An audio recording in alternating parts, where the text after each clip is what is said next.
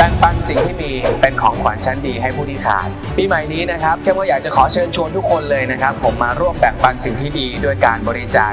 M Point ที่คุณมีนะครับผมผ่าน M Card แอปพลิเคชันเงินทั้งหมดนะครับผมเราจะมอบให้กับโรงพยาบาลเพื่อซื้อเครื่องมือ และอุปกรณ์ทางการแพทย์ มาร่วมบริจาคกันเยอะๆนะครับ